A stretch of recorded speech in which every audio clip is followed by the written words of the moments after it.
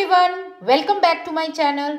On 17 January, we will be launching our end-to-end fund accounting course, Mastering Fund Accounting. I will give the link of the website in the description box. All the information regarding the course will be available on the website. In this series of videos, I am giving the overview of each section which is part of my fund accounting course.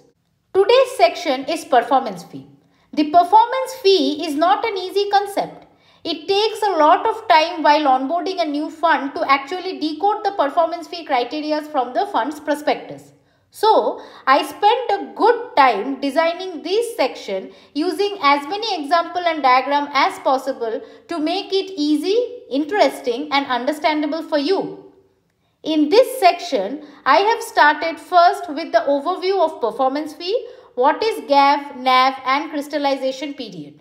Then I explained the hurdle rate and high water mark. These are the two benchmarks of the performance fee. Once these concepts are clear to you, you will be able to understand performance fee calculation better. Next, I created a lecture on equalization. As the performance fee is different from any other fee charged in the fund industry, we need to understand why it is introduced, why there are so many benchmarks kept.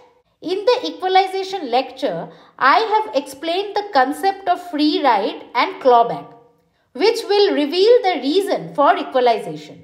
As we understand the reason, then we need to see the steps that have been taken over the years in the fund accounting industry to mitigate the issue. So, we discussed equalization methods like simple equalization, series of share and depreciation deposit. Out of these three methods, I have seen series of shares being used more in the industry. Hence, I have designed one lecture specifically to explain the method with some mock examples. That's all for this section today. Keep watching to know more about other sections. Thank you.